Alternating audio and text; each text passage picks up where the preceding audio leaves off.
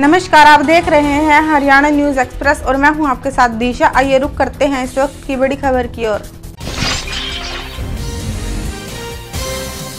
हरियाणा पिछड़ा वर्ग आयोग के पूर्व चेयरमैन सतबीर वर्मा ने कहा कि रोहिला समाज नई ऊर्जा के साथ समाज हित में काम करे और सामाजिक बुराइयों को दूर करने के लिए अपना पूर्ण योगदान दे। वे जींद स्थित रामनगर में निजी होटल में रोहिला टांग समाज की प्रदेश स्तरीय बैठक को संबोधित कर रहे थे। बैठक की अध्यक्षता रोहिला विकास परिषद जींद के अध्यक्ष मास्टर नारायण सिंह ने की। इस बैठक में रोहिला समाज के हितों, मांगों और समस्याओं पर मंथन किया गया। जींद से हमारे संवाददाता सुरेंद्र वर्मा की रिपोर्ट। है, आप कुछ करना चाहते हैं, और मैं परम पिता परमात्मा से गुरु नामदेव महाराज से चाहूँगा कि ये इस प्रकार का सदाचार सदा ही ये कायम रहे। मान्यवर मैं, क्योंकि अब समय भाषण का नहीं है, भोजन का है, आप बहुत लंबे समय से बैठे हैं, मैं मात्र दो या चार मिनट में अपनी बात को समाप्त करना चाहूँगा। धन्यवाद के रूप में, और विशेष रूप से धन्यवाद तो आदरणीय अज़ीज़ कृष्ण जी करने का काम करेंगे।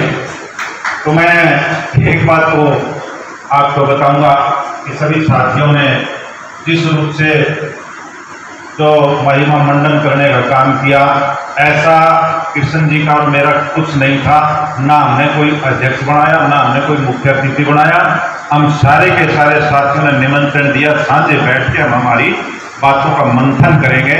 और आपने ही जो सम्मान भले कृष्ण जी को दिया, या मेरे को दिया, या आदरणीय अध्यक्ष जी को दिया, शायद हम इसके काबिल नहीं थे, लेकिन एक हमारा प्रयास था कि भाई आज सरकार में, आज के प्रजातांत्रिक व्यवस्था में समाज की गिनती शहरों से होती है, हर समाज के लिए सरकार कर रही है, क्यों न हम भी अपना प्रयास करें और जो प्रयास मुझे थोड़ा बहुत सार्थक लग रहा था, उसका एक ये छोटा सा मैंने प्रयास किया और आपने इतना गर्मजोशी से और जिन जिन साथियों ने जो यहाँ स्टेज पे आके बहुत ही तर्कशील विचारों से और रचनात्मक जो सुझाव दिए हैं, इससे बहुत कुछ सीखने को मिला है और जो हमारे मन में जज्बा है, अब मन है, उससे भी कहीं अधिक साथियों का साथ लेके समाज के लिए कुछ करने का हमारा और मन बनेगा और मैं चाहूँगा इसी प्रकार से आप इस नई ऊर्जा के साथ में भी आप काम करने का काम करेंगे। जो बातें पाँच, छह जो मुद्दे, जो एजेंडा रखा था, उसके अलावा भी कुछ बातें आई है मैं चाहूँगा वैसे तो विकास जी ने सारी की सारी नोट की हैं। कुछ मेन बातें और भी आई हैं, मैं उनको भी उसमें समावेश करना चाहूँगा।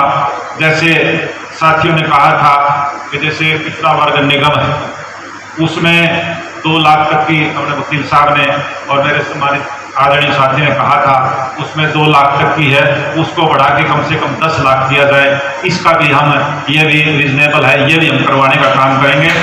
और जिस प्रकार से एससी के मेरे सम्मानित विद्यार्थियों को, बच्चों को जो सुविधाएँ मिलती हैं, वो इसी प्रकार से हमारे पिछड़ा वर्ग के बैकवर्ड क्लास के साथियों को भी मिले। इसके लिए भी हमारा इसके अंदर प्रयास होगा कि ये सुविधा भी हमें मिले। और तुलसीराम जी ने भी बहुत अच्छी अच्छी बातें बताई थी।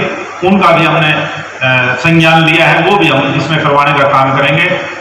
दूसरी, जितनी भी जो जैसे भिवाणी की तरफ़ से और नामनल की तरफ़ से, ये जो जगह की आपन की जो सरकार की तरफ़ से थी, इन्होंने अपने हुड्डा में जो हमारा सरकार का सिस्टम है उसके तहत से इन्होंने जो अप्लाई किया हुआ है उसका तो इस फ़ंक्शन से पहले ही मेरा प्रयास होगा माननीय मुख्यमंत्री जी से मिलके क्योंकि कमिश्नर लेवल का है इंटरव्यू लेवल का है तो इसका इंटरव्यू हो जाए और मैं चाहूँगा कि इस फ़ंक्शन से पहले पहले हो जाए तो, तो हमारे लिए बहुत बड़ी खुशी की बात होगी। और एक बात और आई थी कि हमारा राज्य स्तर पर संगठन संगठन तो है हमारा। प्रत्येक ज़िले में किसी न किसी रूप में, किसी न किसी सभा के रूप में मेरे समाज के सम्मानित साथी काम कर रहे हैं और हर तरह के साथी होते हैं। कोई गोत्र के नाम पर, कोई किसी के नाम पर अगर हम इस लंबे चौड़े उसमें पढ़ेंगे तो कई तरह की बातें आएँगी। फिर भी अगर सम्मानित साथी चाहेंगे तो इस प्रकार का निर्णय लिया जा सकता है। वैसे मैं आपकी जानकारी के लिए बता दूँ कि मैंने जब मैं चेयरमैन था 2002 में मैंने एक नामदेव हमारे फेसबुक पेज को लाइक फॉलो और शेयर करें। साथ ही यूट्यूब चैनल को लाइक करें सब्सक्राइब करें और ताज़ा खबरों के लिए बेल आइकॉन को दबाना न भूलें।